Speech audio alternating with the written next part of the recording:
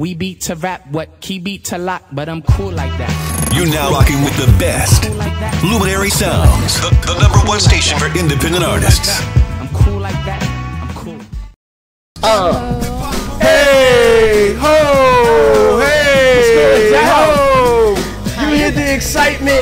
Hi, you guys. It's the infamous Luminary Sounds with Francois the Great, Junior Leto, Missy Talks in the building. That's right. With our special guest, Dexter Nunnery. Woo! The man of the people. Hello, sir. I like that. How you doing. Dexter? I like that. Yeah, yeah. Well, you, uh, you are the man of the people. You have Yeah. so many things going on with you right now. You have your nonprofits.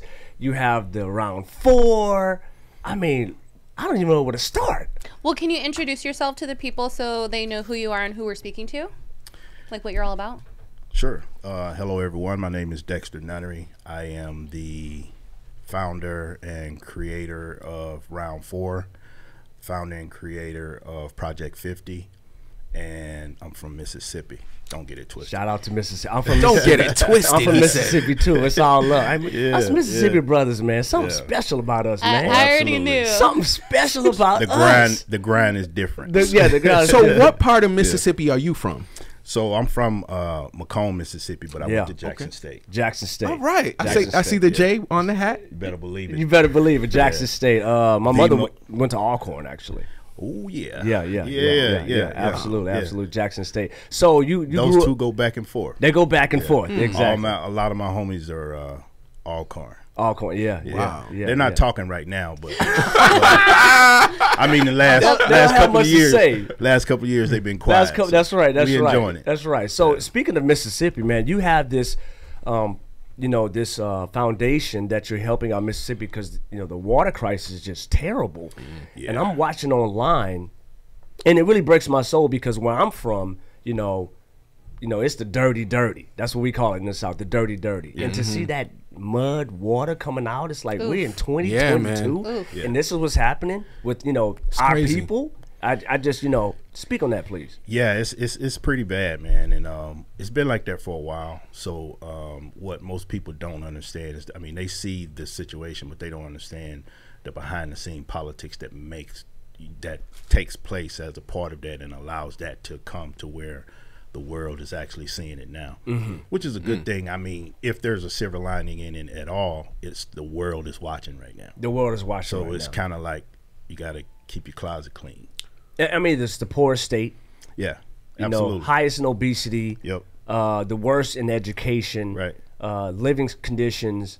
It's uh, it's pretty bad. You know, when I whenever I go home, they treat me like I'm a superstar because I'm on the radio. It's like a, oh, Junior's in town. You the man. Yeah, you are a the superstar. I, I kind of am, but You you, know. I, but you know, You but, but, a- but it's a little extra, you know. Yeah, you I get get a- a, there you go. I get an extra slice of you know Absolutely. pecan pie when I go home. It's a little different. yeah. You get an extra plate. I get an extra plate. Wait, make Junior eats first. I'm like, Right, okay. right. so, There you go. will you be donating to his cause? Yes, I will be donating. Okay. to. That's There what we I want. I want to talk go. about it, and then so we can have that audio. The video, obviously, uh, Drew Top Tim is, is getting Absolutely. us right now, and it's very important. And how can people help Yes. with this situation? Well, um, you know, there's there's been interviews done, you know, by the governor, and um, you know, I think the main thing that they want America to know is the water's back on, but Ta- that's not even that's not even That's not a, even- a pinch of the problem.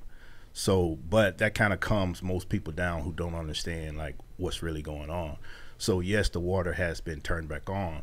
So now I guess, you know, some people are shifting from water donation, which is still needed. I mean, there's people, there's people, I talk to people back there and um, I have some conversations inside the mayor's office. And there's people who have water that they've been holding from two years ago when they had that Oof. that freeze mm. and things kind of froze up a little bit. So they've been sitting on it. They've been sitting on the water Yeah, yeah, absolutely. So For two years. for two years. Imagine that. Wow, two years. So with Yeah. that being said, where the state of the community is at this point in time, what's I guess some of the emergency things that you see that if it happens immediate would cause a great change to where Well, we are right now. One of one of the things that is happening, which um, I'm probably gonna shift to uh, a little more focus on mine as well is filters. So now that the water, Okay. Talking about like water filters. Yeah. Okay. So now that the water's back on, people still need water, but um, there's filters now that are actually helping because the water is dirty. Absolutely. So people are trying to, you know, ship filters and and uh, kind of um, slow that situation down a little bit. But people still got to live, and they're gonna, you know, we're going through the whole situation of the water. Right. But um, uh, one of the guys who's really championed that that process is Trade the Truth out of out of uh, Trade the Truth. Shout out to Yeah, Trade yeah, the yeah. Truth. out, out of Texas. Yeah, yeah, he's he's bringing in tons of filters, man. So I think we're gonna follow that lead and you know ship some of those and still try to get pallets of water as well. I I think that's pretty. s- I think that's pretty smart. Um, Bill Gates had a documentary. He's talking about when he's in Africa Mm-hmm. and how to filtrate the water as well. And I think that's you know something that we we could take advantage of. you know. Well, just look at the mindset that we have right now. Even just having this conversation, you're talking about filters in Africa, and we're in America. Yes. it's 20 Yes. it's 2022, and we're Yes. talking about filters for water. It- This is so. What one thing that people don't understand is this is the capital of Mississippi. This is not like a outside little city. yeah. This is the capital that's. This isn't like this. this isn't McComb. nah, nah, No, this is, yeah, this isn't Bay St. Louis. Yep, this is the capital. Yeah. Right. Yeah. So so I think um, people need to pay more attention to what's happening with the capital of you know one of our states that's actually going through this situation and what what's really causing it. So there's some you know there's the water infrastructure that you know I think it was about a month ago or or a little longer Okay. where the weather kind of they had a, a you know rain and it rains there a lot. So um, when that happened, it kind of over flooded and flooded the the infrastructure system and, and kind of damaged it and shut it down. Right. So that's what kind of like caused it to stop. But before then, they was already the city was already on a boil your water type. mode. Oh, Wow. Already. Yeah. Boil your water. yeah, wow, it's yeah. crazy. So yeah, so that's that's that's pretty crazy to to be happening. But they, you know, right now the mayor and the you know the governor's kind of going back and forth. And you know, when any kind of catastrophic situation happen with any city, there's always those two platforms as a start. You know, Right. trying to take the blame off one, push it to the other, those type of things. It's not my fault. yeah, yeah. Tate Reeves. But they but they got but they got um um the last I think the the, the mayor is kind of handling himself well in this situation uh, because there are some you know initial interviews went out with with Reeves Yeah. and talked about you know just the failure of of how this process is happening and things like that. So then um, the mayor came out with his own um, his own his own press conference. Yeah. and he brought with him the receipts, as we call it. Oh, Yeah. Mm, So he actually he actually applied for some money for this situation, like Wow. forty something million dollars. Yeah. well, Oh, And goodness. he was denied by the governor. Denied by the. Yeah. with his receipts. he he was denied. Welcome so to now- Mississippi, boy. Yeah. he got receipts though. Welcome to Mississippi. Well, so so oh man. so with that, it kind of like shed some light on people start paying attention after that. Like, oh, okay, so the governor says that this is poor management, Yeah. poor leadership, mm-hmm. and then the mayor comes out with receipts of, hey, I I applied for money to try to solve this problem, and you said no. yeah, exactly. So mm. that's where we are. That's where we are. Man. That's where we are. I know. And uh, Miss, you had a, you had something Yeah. to say. I didn't want. I, I was. Oh no, that's okay. I was just saying, like, it just sounds. You were talking about the pallets of water and then going over to the filters, possibly. That I mm-hmm. think that that's really awesome. That you see that there is a need and you just help fill it, like whatever it is. No, Right. like just trying to help whatever you can, kind of thing. Mm-hmm. So I think that's pretty awesome. Right. I mean, have you're you always you're been like that? with it. man i've always been a a, a helpful person mm. and it's just even i mean perfect example of like where it starts is you know when i was younger um, my mom used to work two jobs hmm. and i used to like rearrange the house Okay. so that when she came home from work Yeah. it would look like she was in a when i say rearrange like clean change the furniture around Yeah. I thought he was gonna Yeah. say something else. Yeah. I, thought, I thought he was gonna say I would rearrange the house so then she would have to have more work when she got home. no. nah nah it was- Dexter's a jerk. Like what? Look, mom, I'm gonna give you more work. yeah. So so I used to real hard on you over here. exactly. yeah.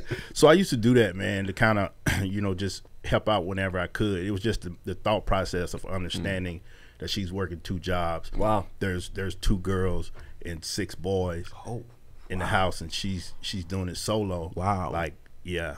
So it just come from that. uh, Yeah. salute that to your upbringing. mom. you got a big family. That's yeah, yeah, amazing. Yeah, Yeah, yeah, yeah, yeah, yeah. But we, in, I mean, we, we were in the project, so you know, the projects is family. You know, yeah. Those those are days where where the aunts or the the relatives, the neighbors, anybody will whoop you, right? I was about to say, that's what Did, now, did anybody else spank you? Yeah, oh, oh, okay, yeah, okay, they- then- yeah, man. okay. Now we on Yeah. point there. Okay, Yeah, yeah. if you didn't get spanked by the neighbor, Oh, then you, you, that's not love. Look, you Look, got to get spanked by the neighbor. yeah, it's the it's the neighbor, and then when mom gets home, yeah, it's it's again, it's happening again, man. Yeah, I, mean, I had that situation happen when I was younger. The, uh, I was playing ball and it went into the street.